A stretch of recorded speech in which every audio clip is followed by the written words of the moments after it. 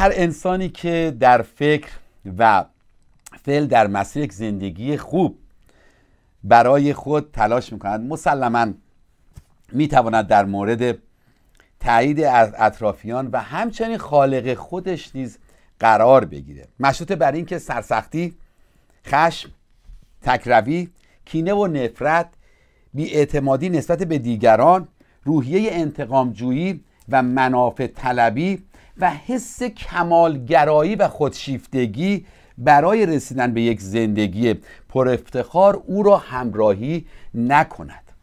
که همانا این خصوصیات نشانه غرور و تکبر می باشد.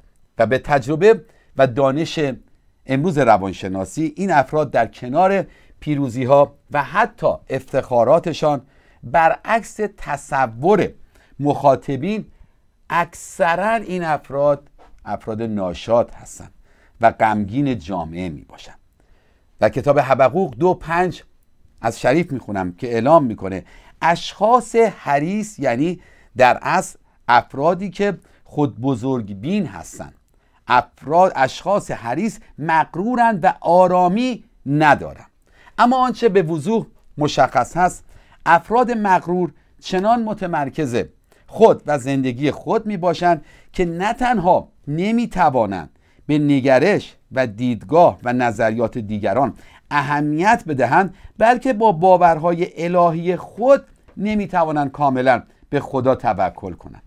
از این رو غرور و خود بزرگبینی آنان یک مکانیزم دفاعی برای حفاظت از خود و آنچه دارند می شود در اصل گویا یک واکنش در برابر ترس ها و نگرانی هاشون می باشد و گاهی ترس های آنان باعث بیانصافی و حتی ظلم و شرارت می گردد همون گونه که نویسنده مزمور ده چهار الا هفت رو براتون خواهم خوند قسمت به قسمت که اعلام می‌کنه. شریران در غرور خود به خداوند توجهی ندارند و در فکر ایشان خدا جایی ندارد چرا که اصلا نسبت به موقعیت های الهی فکر نمی کنن یعنی در از درک نمی کنن که خدا چی میگه.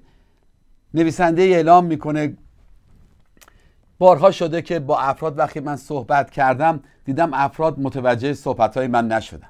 و بدتر از این این بوده که زمانی که گفتن فهمیده ایم متوجه شدم اشتباه فهمیدم و میگه حالا می‌فهمم خدا چی می‌کشه.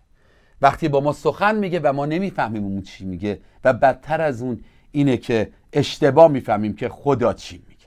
و متاسفانه این گونه هستش که گاهی افراد حتی با باورهای الهی به دام غرور نیز گرفتار میشن و نمی‌توانند در اون کمال خوشی که در حضور خدا هست قرار بگیرن و بهره بگیرن